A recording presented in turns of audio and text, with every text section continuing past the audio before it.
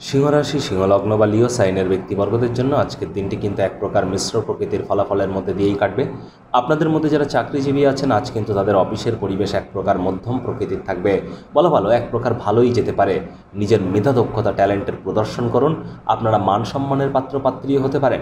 কর্মে নিজেকে আজ স্বতন্ত্র অনুভব করবেন। তবে যারা বিজনেসম্যান তাদের কিন্তু খুব সাবধানতা অবলম্বন করে চলতে হবে।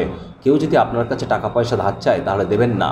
তাহলে আপনারা নিজেরাই কিন্তু আর্থিক সংকটের মধ্যে পড়ে যেতে পারেন। আর কারোর কাছ থেকেও আজ টাকা পয়সা ধার যেন করতে যাবেন না, ঋণে জর্জরিত হয়ে যেতে পারেন। বিজনেসম্যানদের বলব, আর্থিক লেনদেন, আর্থিক বিনিয়োগ অর্থগত বিষয়ে গুরুত্বপূর্ণ সিদ্ধান্ত গ্রহণ করবার জন্য দিনটি কিন্তু আপনাদের পক্ষে নেই। আর যারা চাকরিজীবী আছেন, তাদের তো দিনটি ভালোই।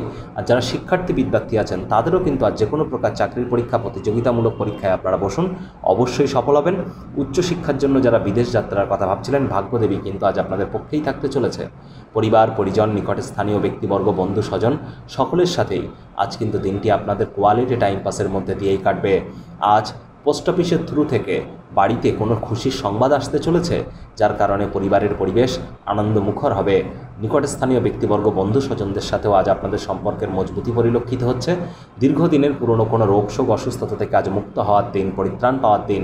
কায়িক পরিশ্রম হলেও শরীর, মনে সতেজত তাজা অনুভব করবেন। আর যারা খেলাধুলোর সাথে যুক্ত, স্পোর্টস ইন্ডাস্ট্রির সাথে যুক্ত, তাদের কিন্তু আজ রাজযোগ পরিলক্ষিত হচ্ছে। দীর্ঘদিনের প্রতীক্ষিত নাম যশ খ্যাতি আজ মিলতেই পারে।